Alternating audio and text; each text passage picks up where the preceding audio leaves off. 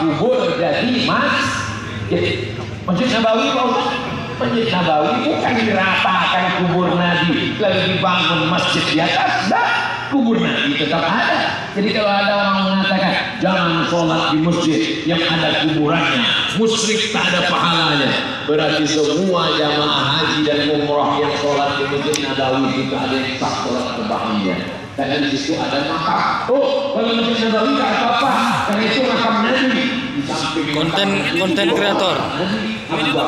Bukan.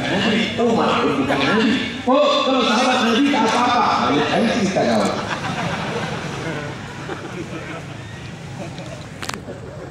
Jadi yang tak boleh itu adalah meratakan kuburan dibangun masjid di atasnya.